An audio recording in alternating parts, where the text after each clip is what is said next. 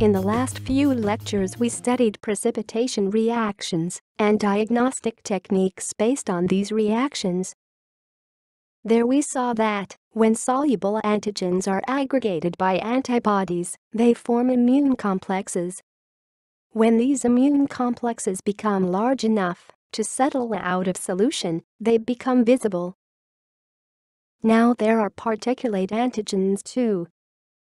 Particulate antigens are particles such as cells that carry antigenic molecules on their surface.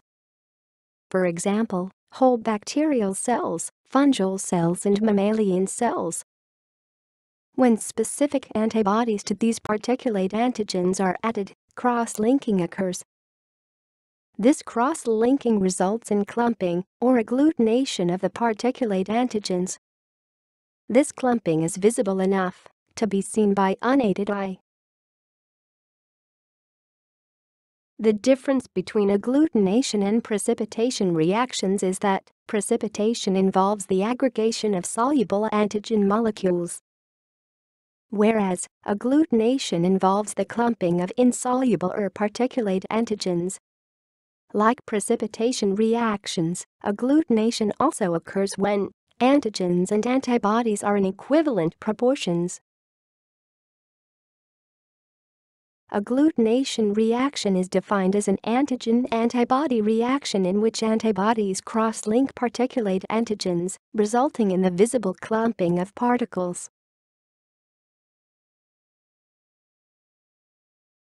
In diagnostic immunology agglutination reactions have a wide variety of applications.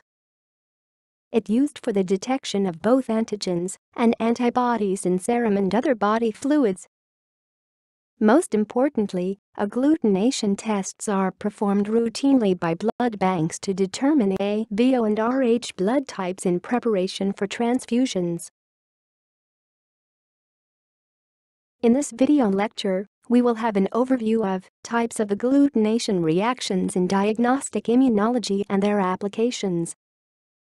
Agglutination reactions are of two types, active agglutination and passive agglutination.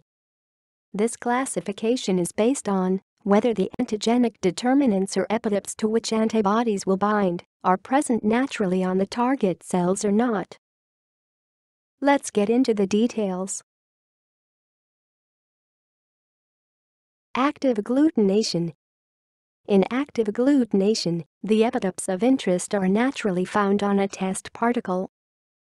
For example, antigens present on RBCs, antigens and antigenic determinants present on bacterial cells, fungal cells etc. Antibodies can bind directly to these antigens and agglutinate them. Let's say we have a pure bacterial culture. We will put a suspension of this bacterial culture on a glass slide. Next we will add antiserum containing specific antibodies to this bacteria. Clumping as well as clearing of the suspension indicates that agglutination has occurred and test is positive. These types of bacterial agglutination tests are done routinely for the identification of bacterial isolates from clinical specimen. Active agglutination tests are also used for blood grouping and cross-matching before blood transfusion. Other examples of application of active agglutination in diagnostic immunology are Widal or Vidal test for diagnosis of typhoid fever, Brucella agglutination test for brucellosis, and Weil-Felix test for rickettsiosis. Let's now understand what do we mean by passive agglutination. In passive agglutination, the epitope of interest does not occur naturally on the cells or particles to be agglutinated. In such cases, the epitopes or soluble antigens are chemically fixed on carrier particles. Few examples of carrier particles used in passive agglutination are latex, polystyrene, bentonite, Earlier RBCs were used for passive agglutination. But, synthetic carrier particles provide advantage of uniformity, stability and consistency, hence they are preferred now. Advantage of passive agglutination is that we can easily perform agglutination and interpret results in cases where pathogens culture is not feasible or only soluble antigens are available. For example in viral diseases, Let's say, these are the carrier particles for example latex beads. The antigens of interest such as soluble antigens are chemically fixed to them. Once carrier particles are coated with antigens of interest, the antibodies specific to these antigens are added. These antibodies react with the antigens and particles agglutinate with one another. We can also detect antigens by passive agglutination.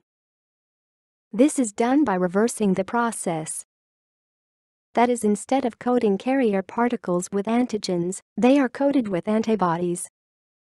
This method is known as reverse passive agglutination.